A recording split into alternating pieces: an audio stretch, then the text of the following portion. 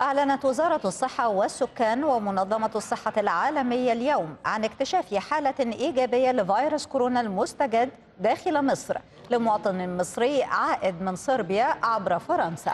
وأوضح المتحدث الرسمي باسم وزارة الصحة أن المصاب يبلغ من العمر 44 عاما وفور عودته إلى مصر لم تظهر عليه أي أعراض وبعد أيام قليلة بدأت تظهر عليه أعراض بسيطة فتوجه إلى المستشفى حيث أجريت له التحاليل المعملية وجاءت إيجابية.